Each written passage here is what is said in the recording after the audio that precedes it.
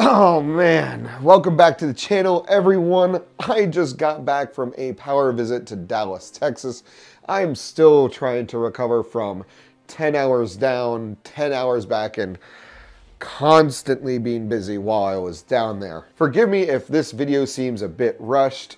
Life is insane right now. Today I have a little bit of a blast from the past of our night vision series here on the channel with the Night Fox Prowl. This is a device that Night Fox sent to me, gosh, what was it, 16 months ago? And for $200, I was pretty impressed with this night vision monoculars ability. Now, if I'm completely honest, it cannot hold a finger to some of the devices that have been on the channel since, such as the NVG30, the NVG50, and certainly can't touch this device, which we'll get into in a future video. But again, for $200, the Night Fox Prowl is the best introduction into digital night vision and night vision on a severe budget. Now, it should go without saying that this device is far from perfect, and at its launch, there were several issues with it, especially a firmware problem that caused the system to lock up. That was pretty quickly fixed by Nightfox with a firmware update. Another significant issue with the Prowl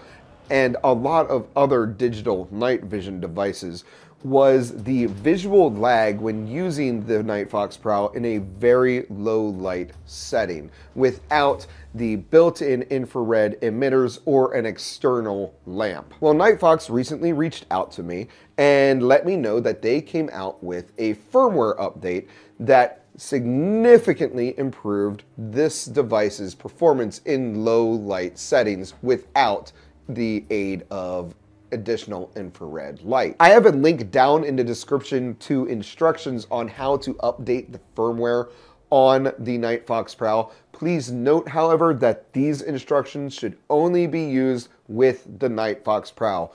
Don't try to update your Night Fox Swift 2 or your Swift 2 Pro it will brick the device. As I was updating the firmware and reading about the patch notes, I was also pleasantly surprised to see that it wasn't just fixing the visual lag of the device, but it was adding a couple filters and changing around some of the button mechanics. Aside from the visual lag correction, they added new filters, namely an inverted green filter and a white phosphor filter. I must say, and this is with all sincerity, the white phosphor filter is magnificent. I think it adds far more to this device and the contrast than any of the other filters. They also added a button functionality that if you long pressed the infrared increase button, it would change the filter. While that isn't that big of a change, it is a nice quality of life improvement, but that's all secondary to the visual lag correction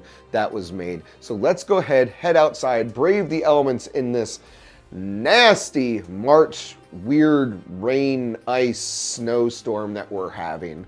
And I'll show you the improvements. Okay, I apologize for the wind. This is absolutely terrible out here. But this is just showing the lack of the lag with the new firmware update.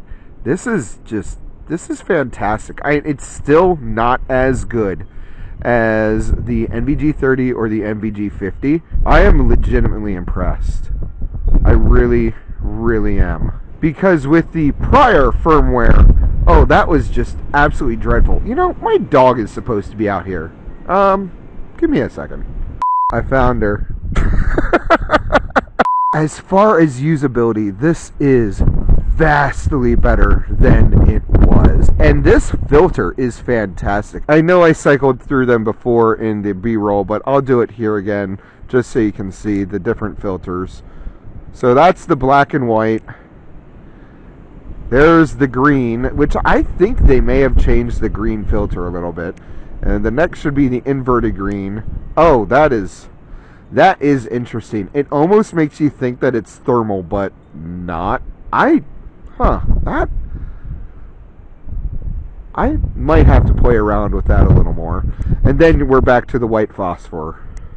which I just I think that is a really good looking filter. Now it doesn't really do much for the sensitivity. That's why you're still going to need an infrared light. I'm using the integrated 940 there at its lowest setting just to eliminate under my deck because without it you're still getting a very dim image in the poorly illuminated uh, areas excuse me. I am cold. I am not dressed for the weather right now. It has been far colder this winter, but it is. I'm used to the 70s already, and now we're back into the low 30s, upper 20s. This is bullcrap. I'm going to try very hard to set aside my bias towards the NVG30, the NVG50, and this new digital device because they are in completely separate leagues, being $450, $500, and almost $2,000 for digital night vision versus a measly $200 for the Night Fox Prowl. As I've said in the previous Prowl videos on the channel, this device absolutely works. It allows you to positively identify targets. It is just nowhere near as high fidelity as higher end night vision. In my opinion, this firmware update is essential. Frankly, the device should have launched with this version of the firmware. It makes it such a more usable product. If you have a Night Fox Prowl or you're looking to get one in the very near future, be sure to upgrade the firmware to the latest edition. It's 1.31. The difference is truly night or day. Oh. Oh, dad jokes. Oh no. Again, I apologize if this video seems a bit hastily put together. We've got some awesome content coming. Aaron's coming out for a range day here soon. We're going to be shooting some more armor. We're going to be working on some reviews for a few different firearms for the channel. We are very excited to share those videos with you. Part two of the Bear Creek Arsenal 762 by 39 debacle is well underway in production. That has yielded a couple rather interesting results. And of course, there are a couple night vision videos in the works, perhaps a thermal video or two. Stay tuned. We have so much coming. Just have to get over a hump right now. I'll explain down the road, I promise stay tuned. That's to do it for this video, everybody. I hope you enjoyed it. If you did, please consider hitting the like button, subscribing to the Phantom Llamas Den. Go check us out on X, Instagram, phantomllamasden.com. Go follow us on Twitch where we game and just get weird on the weekends. As always, don't take life too seriously and make it a great day.